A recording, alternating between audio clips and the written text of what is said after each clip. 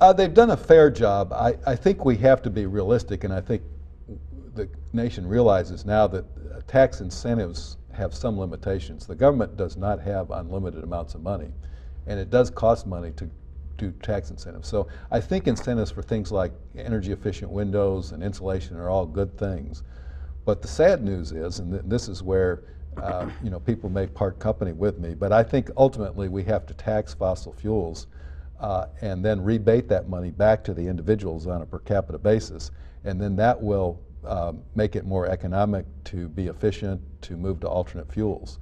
Uh, and I think that's more sustainable over the years than tax incentives because the tax incentives will just grow and grow and uh, uh, it makes it very difficult to balance the federal budget when, when you look at them as what they are and the reductions in revenue. So how would such a tax work? Well, in general outline, uh, you, you, you would announce a gasoline tax, and to be fair to people who've made decisions like where they live and work already, you would phase it in gradually over maybe a 10-year period. And you would promise the American people that all of it, or maybe 90% of it, would be rebated right back to them. And so you would, for instance, get a rebate in your Social Security check.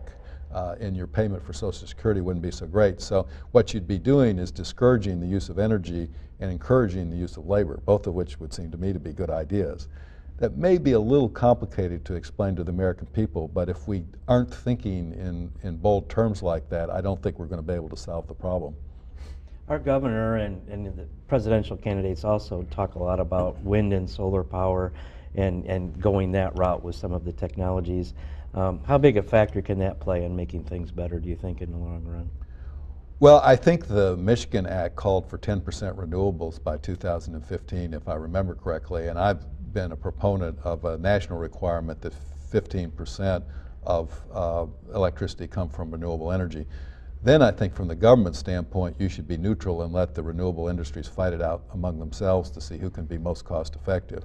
Right now, wind uh, would probably win a lot of that. Um, uh, Plant-based energy would win a lot of that. In the long term, I think solar has the greatest potential to improve in efficiency and cost. But uh, th there's a role for government to set some general ground rules, and then the private sector can sort of determine the winners and losers among the different fuels. But we need to move to the fuels that aren't emitting carbon dioxide and to the ones that we're not relying on the, uh, the Middle East for our energy supplies. Jay, wouldn't you also say that nuclear has got a big role in our energy future because technology has continued to advance in other countries, for example, France, nuclear technology. After Three Mile Island, there was the kibosh put on so much of our domestic nuclear industry here. And if you have these advances that we can import, mm. we have a, a, a, quite a different generation of nuclear power plant potential, right? Yeah, I'm uh, quite confident in the current, uh, uh, currently available technology in nuclear generation. Uh, nuclear still has the problem it had even before Three Mile Island. Even before Three Mile Island, there were more plants being canceled than, than ordered because of the cost. But I, I agree with the government uh, bill that was passed in 2005 that's going to provide substantial uh, financial incentives to the first nuclear plants, and then they'll sort of be on their own. But the first ones will be more expensive because we're sort of gearing back up and getting people in place to do them. We do have access to the French technology.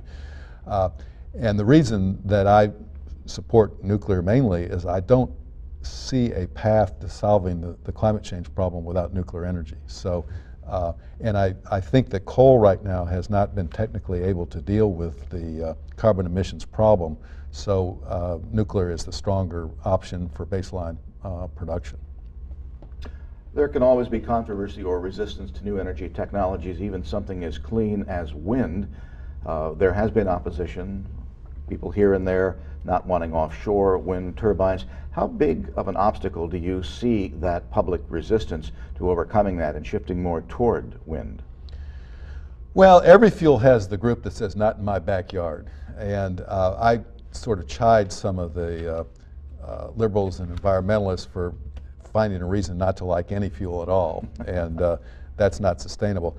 But I do think we have to, wind for instance, uh, I would be concerned in a, a, bird flight path if, if it was destroying wildlife.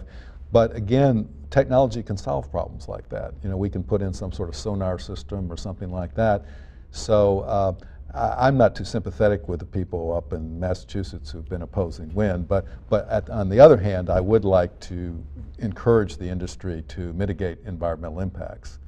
Uh, we, you know, often it's said, and maybe we'll have to go to this, that the federal government will have to take a bigger permitting role uh, because the local people don't want a nuclear waste disposal, they don't want windmills, they don't want anything.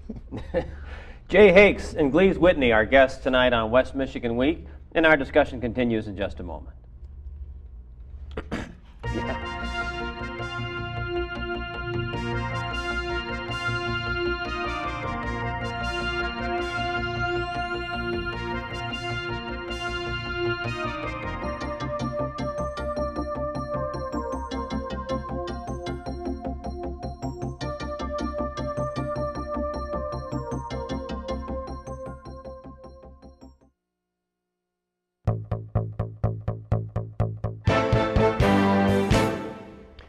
Our guests tonight on West Michigan Week are Jay Hakes. He directs the Jimmy Carter Presidential Museum and Library in Atlanta, Georgia, and Gleaves Whitney here in Grand Rapids of the Hauenstein Center for Presidential Studies. Uh, Gleaves, the presidential election now uh, is nigh. Uh, what are your gut feelings about the way it's turned and twisted in the last 12 months? Well, I think some of the things that have happened actually in the last few weeks are so interesting because now what you're seeing is Obama pulling out in front and probably at the point of this broadcast anyway has an insurmountable lead from McCain's point of view it'd be very hard now to catch him.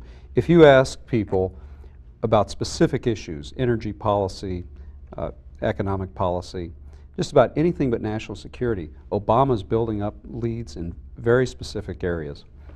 The overall lead, however, is somewhat less than that. Now, there's been a lot of speculation about that. Some people say it's due to the Bradley effect, Governor Tom Bradley out in California. Resistance African- to voting for an African American. Yeah, exactly. But Probably a number of factors uh, that play into this. And the fact is, we won't know till election day, and then the analysis will really start. But I think in the meantime, uh, it's been very interesting to see how this economy has riveted everyone's attention.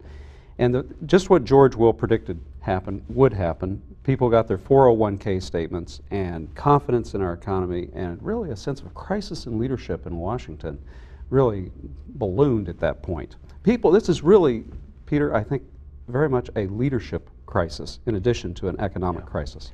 Well, everyone knows that George Bush will no longer be president, so in their minds, he is the lame duck, of which he is. We don't know who's going to replace him, so we, we do have this void. But Uh, I'm curious both of your opinions on this issue that plays out in nearly every election, where you blame the incumbent for whatever problems may be existing, even though, let's be honest, a president or a governor does not have the complete enough control over something as large as a state's economy, not the least of which a national economy, to rightfully be blamed for its condition. Well, let's, let's focus this question a little bit on the energy part of this equation. See, I think George W. Bush missed a marvelous opportunity in his presidency. Eight years.